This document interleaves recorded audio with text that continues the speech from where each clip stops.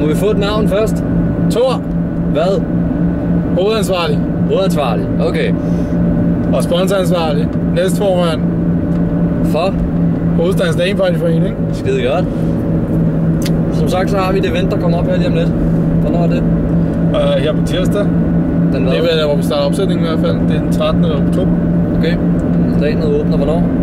Uh, onsdag den 14. oktober kl. 12. Ja.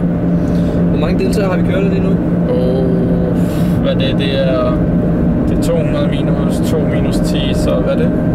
200 minus 2 minus 10. Ja. Minus 12, det er 188. Ja. Øh... Næste ting her. Hvad sker der på første dag? Hvilke sponsorer har vi kørende på der? På første dag. På første har vi nogen, har vi noget som helst, vi kører op på der, som, Ja. som der bare kører op? Ja, vi har, vi har ligesom altid ligget ud med vores reto-konkurrence. ja. Så den er sponsoreret af Power. Er jeg ret sikker på. Okay.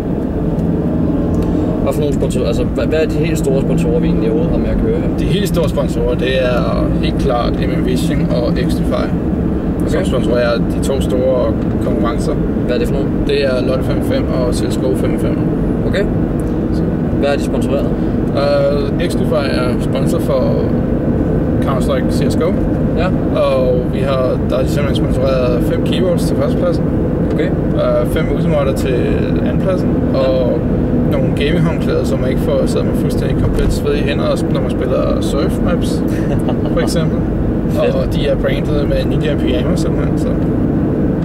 Og de havde også sendt noget chokolade med, som der var brandet Ninja Pyjamas, men det var desværre to dage for gammel, så det var jeg nødt til at spise. Nå, jeg var bange for, at det smeltede.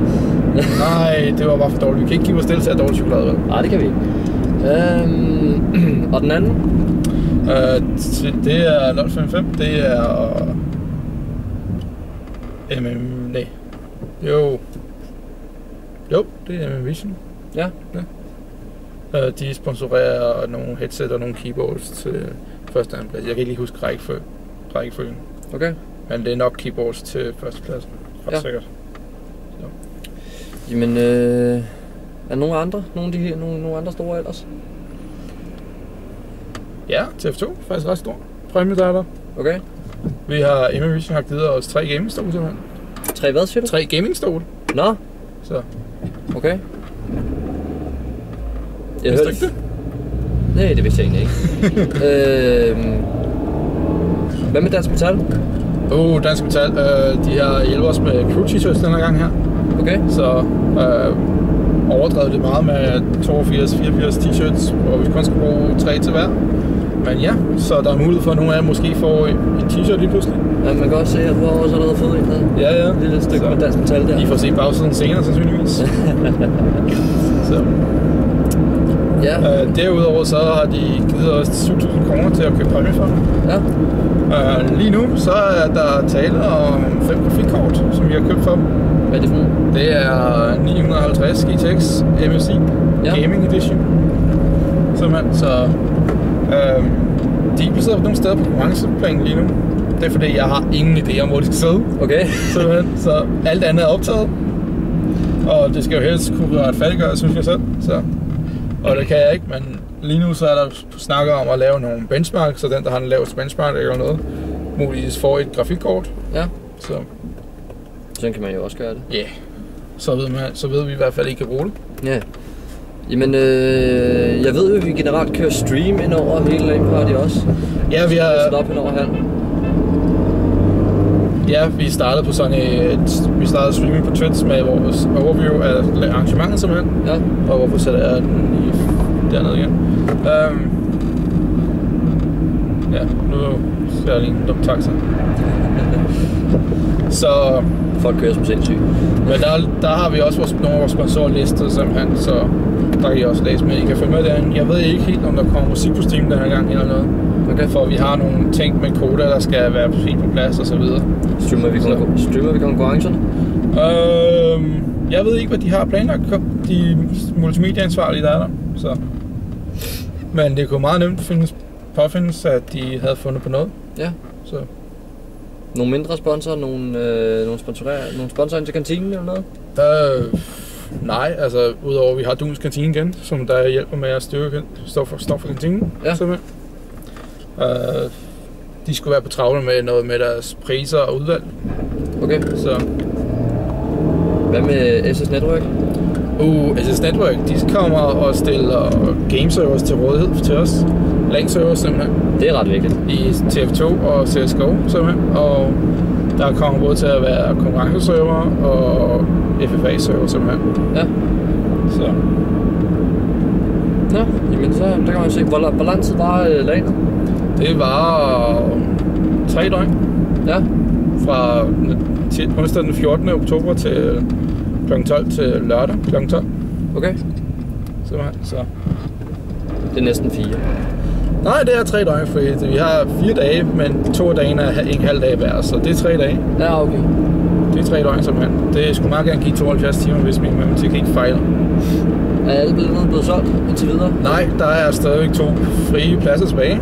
Som står til hvor meget? Øh, og her 300 et eller andet. 300 noget? Ja. Okay. Og så har der 10 billetter, som der lige nu er låst fast til Dansk Metal, men vi venter på, at de vil muligvis frigive dem i løbet af i dag, hvis de ikke kan få dem påsat. Okay. Simpelthen. Og nu føler jeg, at jeg ikke kan finde øh, en station. Det er sikkert længere fremme. Men Vi kører bare. Ja, ja. Vi kører bare. Vi kører bare. Det bliver en lang blok. Det bliver en lang lok, det her. Ja, lidt. Så. Nå, jamen altså... Øh, er der nogen slut, nogen, hvad kan man sige, nogle slutting på sidste dagen, inden, inden vi tager hjem? Noget, der skal ske for sponsor, sponsorerne der? Øh, ikke rigtigt. Der kommer også sponsornævning op til præm- præmieuddelingen, gør? Ja, ja, der, altså alle sponsorer kommer op på storskærmen som altid selvfølgelig. Så. Men vi har, vi har sat ret gode præmier på fysisk aktivitet igen. Ja. Simpelthen. For at se om det hjælper, og vi har rykket fysisk aktivitet til om eftermiddagen på anden dagen, Ja. altså torsdag. Ja. Simpelthen for at se, om folk er mere villige til at deltage der. Og hvad det hele er, det ved jeg ikke nu. Det er de konkurrenceansvarlige, der arbejder med det. Okay. Øh, hvor, hvor meget har vi egentlig fået, altså, hvad kan man sige, til samlet af præmier Uh, alle de her sponsorer? Vi snakker 45, 45 til 47.000 kroner, der bliver brugt på det arrangement her. Derudover så er der lidt sidepræmier, som vi ikke bruger den her gang her simpelthen. Okay, det bliver gemt til næste. Ja, eller til vores medlemslæng her med jul og nytår. Okay. Sådan kan man også gøre det. Jamen, øh, lige for nu tror jeg faktisk, det var det. Ja, Jeg tror ikke, der er ret meget, vi kan gemme på nu. Vi har vist gennemgået det hele. okay. Så vidt jeg er informeret, så vidt jeg er Øh, informeret i hvert fald. Ja, øhm, der er altså lige en ting, jeg kom i tanke om her. Det er, at vi står faktisk og mangler noget crew. Nå ja, det skulle da rigtigt. Vi mangler noget konkurrence og noget almen crew. Så Okay. hvis du har interesse i det, så send en mail til, det, til den mail, der står i, i øh, Beskrivelsen. beskrivelsen her. tak. Jamen, øh, det siger vi. Ja. Og det er HL Parties Alexander Folser Gottlieb og hovedansvarlig Thor Søjer. Slutter af her. Ja.